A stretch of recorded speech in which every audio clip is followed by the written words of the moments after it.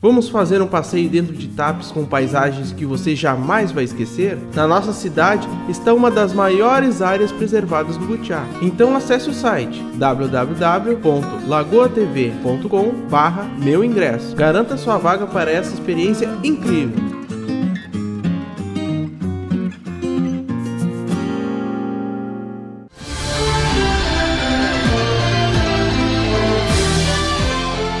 Prefeitura de Tapes publicou nesta sexta-feira o edital para a abertura do processo seletivo simplificado para a contratação de 10 auxiliares pedagógicos da educação infantil por prazo determinado de três meses, para desempenhar funções junto às escolas municipais de educação infantil.